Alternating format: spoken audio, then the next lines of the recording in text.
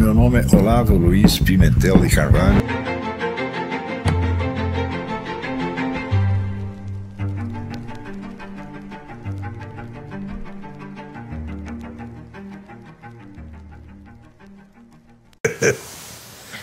Ai, ai. Olha, ninguém pode ser totalmente sozinho, nem todo mundo é um MJ Gonzaga de Sá, tá certo? E, e nem todo mundo pode sobreviver no meio disso. Hum? Eu sobrevivi porque o meu nome quer dizer sobrevivente, quer dizer, o nome é uma profecia.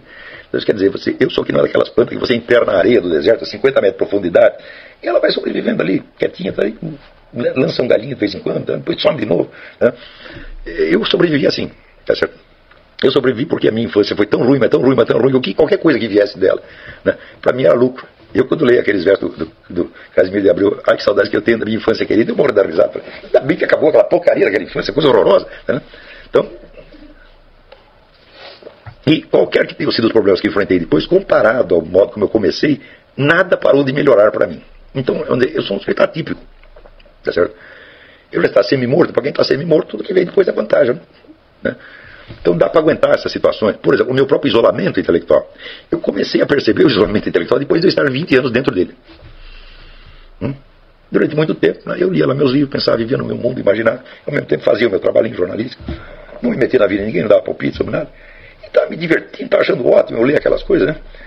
E não tinha ninguém com quem conversar, mas como nunca tinha tido antes, né? você não percebe que a coisa está fazendo falta. Estava fazendo falta objetivamente, mas subjetivamente não, não me afetava. Mas note bem, isso não é o caso da maioria. Hum? Então, em geral, vamos dizer, as pessoas vão sentir este isolamento. Né? Eu, se por exemplo, se me achavam esquisito, estranho, né? eu realmente não ligava. Né? Não por me achar superior, mas por real indiferença, tá entendendo? Quer dizer, eu quando, quando encontrava os livros, encontrei por exemplo o livro do outro Maria Carpo, né? depois comecei a ler muito Ortega y Gasset, Julián Marias. Eu estava tão maravilhado com aquilo, mas tão, tão, tão, tão. Né? Ainda quando, quando apareciam esses camaradas no Brasil, eu ia lá ver, conversar com eles, apareceu o Julián Marias, lá conhecer o Julián Marias. Né? É, que se me achassem esquisito por causa disso, a coisa não, não me dizia respeito. A opinião, dos outros não me, a opinião dos outros não me dizia respeito, porque eu também não tinha nenhuma opinião a respeito deles. Tá certo? É, e também se não, vamos dizer, se não gostassem muito de mim, eu não ficava sabendo disso, não tinha notícia disso. Tá, né? Porque também eu casei muito cedo, tinha filho, tinha aquelas crianças maravilhosas, eu adorava as crianças. Tava, de certo modo eu estava feliz na minha, né? na meu, no meu isolamento, na minha miséria social. Não imaginava jamais que um dia pudesse desempenhar um papel público importante. Eu achava que ia ficar sempre daquele jeito. Né? E foi no instante que eu comecei, vamos dizer, a desempenhar o papel público, eu comecei a ensinar, comecei a falar, etc, etc, aí é que eu percebi como a minha vida tinha sido anormal. Falei, peraí, mas uma solidão dessa não existe. O Bruno Tolentino, quando me conheceu, ele falou que ele saiu do Brasil com 18 anos, viveu 30 anos na Inglaterra, todos os amigos dele eram pessoas altamente intelectualizadas, conviveu com o meio mais fértil intelectualmente que existia no mundo. Ele assim perguntava mas como é possível? Como é que você fez isso? Eu eu não sei. Não tenho a menor ideia. Eu nunca tive outra vida. Tá entendendo? E agora, comparando com a sua, eu vejo que né, você estava lá comendo caviar e eu estava aqui roendo pedra. Tá certo? Mas se você não tivesse me avisado, eu não teria percebido. Né? Então, quer dizer, eu sobrevivi a isso, mas não posso dizer que me fez bem. Hum? Não posso de maneira alguma dizer que foi bom. Né?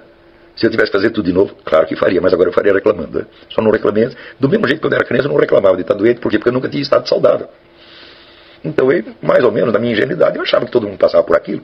Eu ficava lá com febre o dia inteiro, dor no corpo, não poder respirar. A vida é assim. Né? Nunca me lembrei de pensar como seria se não fosse assim, porque não tinha experiência anterior. Então, toda a minha vida foi muito anormal nesse sentido. Tá certo? É, eu vejo de certo modo é bom, porque eu sobrevivi de alguma maneira, e graças a ter sobrevivido, eu posso estar transmitindo essas coisas para vocês que eu aprendi com uma outra geração. Né? Nem tudo, claro. Mas a pergunta que o Rafael coloca é o seguinte: como você vai sobreviver afetivamente nesse meio? Hum? Eu digo, olha, se você casar e tiver um monte de filho, que nem eu tive, um monte de filho, um monte de cachorro, tá certo? Então, de certo modo, a sua vida afetiva está preenchida. Mas te digo, os meus parentes, sobretudo os parentes da,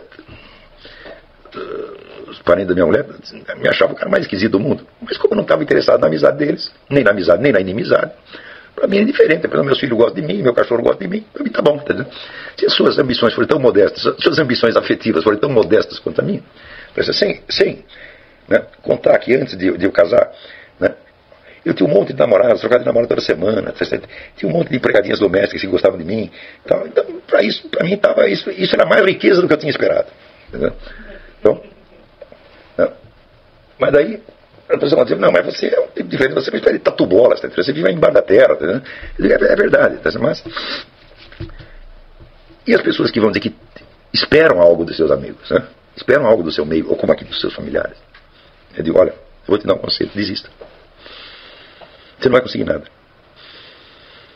Por quê? Nós sempre precisamos lembrar aquilo que dizia Santo Tomás de Aquino. A amizade consiste em idem vele, idem nole. Querer as mesmas coisas e rejeitar as mesmas coisas. Você só pode ser amigo de quem ama aquilo que você ama. Hum? Se aquilo que você ama, que é mais precioso para você, que é mais elevado para você, para os outros não é nada, é uma coisa desprezível, você não pode ser amigo deles. Você pode ser bom para eles. Hum?